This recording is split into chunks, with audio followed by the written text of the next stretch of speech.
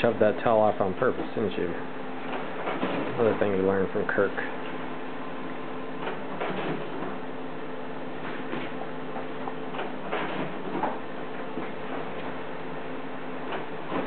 Now what you don't see is that the fan is running the thing.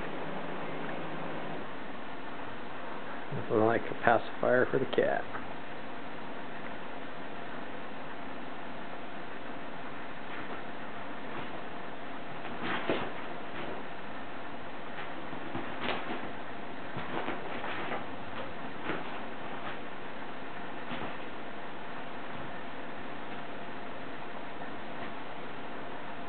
Get it, little.